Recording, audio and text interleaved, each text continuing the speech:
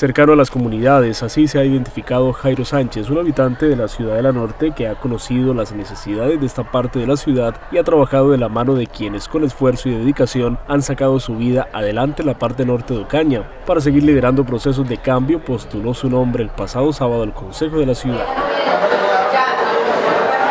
Sí, yo he venido ya haciendo esa visita casa a casa y la verdad uno se queda anonadado de toda la situación de la economía, de la necesidad que tiene Ocaña, tanto desempleo, en cuestión de violencia, todos los aspectos de Ocaña,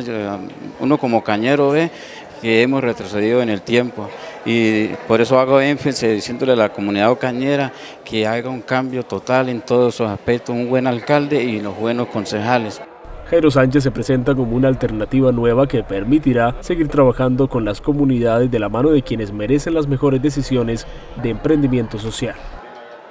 porque ya hemos trabajado en la comunidad ciudadela norte, hemos dejado ya obras, eh, hemos traído sin ser concejales. Qué bueno sería que nos dieran la oportunidad para representarlos, porque la credencial no es de nosotros, la credencial es del pueblo. El pueblo elige, pero elige bien elija con Jairo Sánchez al Consejo, que es importante que tengamos eso en nuestros corazones a todos los ciudadanos cañeras y todos los residentes acá en este momento, que eh, necesitamos ese, ese anhelo de, que eh, se vea en todo eso, que la comunidad avance.